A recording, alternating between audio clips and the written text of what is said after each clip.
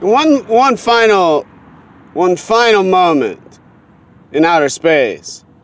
Humans who are obsessed with behavior, keeping track of what they hear,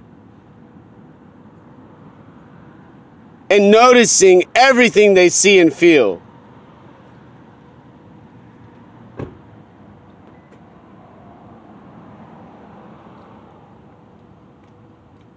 And there's economics so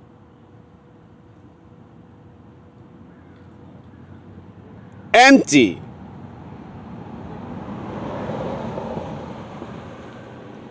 There's not much else to do other than technology. However, they refuse to acknowledge they're all in the Matrix, the film live in outer space.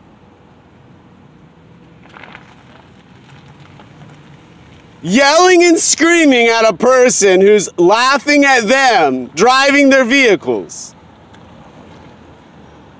Spitting on me, assaulting me, and bullying me. Doing what the Matrix talks about, the film. Completely uninterested in a dinosaur with a brain and heart.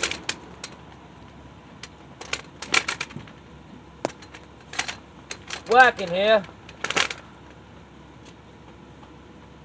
You guys need me to move?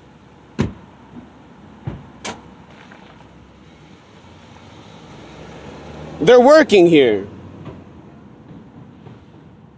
They tell me. And all I'm doing as a doctor at University of Washington has to do what they tell me I don't do in an object. I survive in outer space. But their work, what they do with their energy, those who tell me they're working here, not telling me, do I need to fucking leave early for school?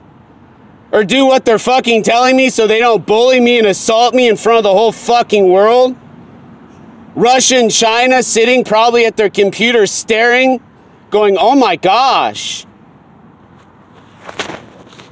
And they have kids and they have children and they're doing what to you after you just sent that to them and then then them and now you're working on your notes for pediatric neurology and you can't finish what you're saying because they're working and I'm not.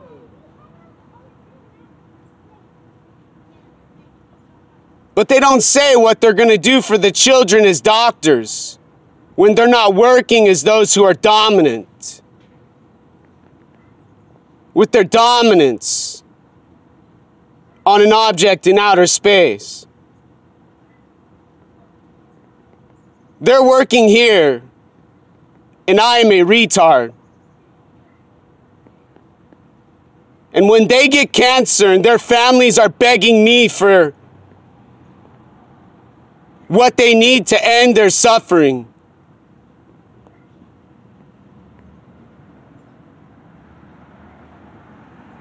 Look to the stars and pray and fear the Lord. You don't have any health and medicine with such dominance and violence and war and suffering.